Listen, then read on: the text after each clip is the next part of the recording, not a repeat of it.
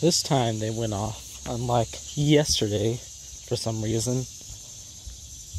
I still wonder if there's a if there's a 2001 like somewhere down there. I know there's one at the gas station that's like over there, but I don't know. I keep on hearing one from there. Uh, I don't, I don't think it's the one from Lions Club because I'll be like pointing over there.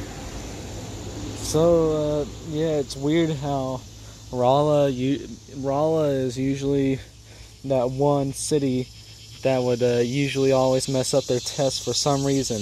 Yesterday it was nice and sunny and all that crap. Uh, but for some reason they weren't tested yesterday like they were supposed to. Uh, so yeah, there's that. See y'all later. Bye.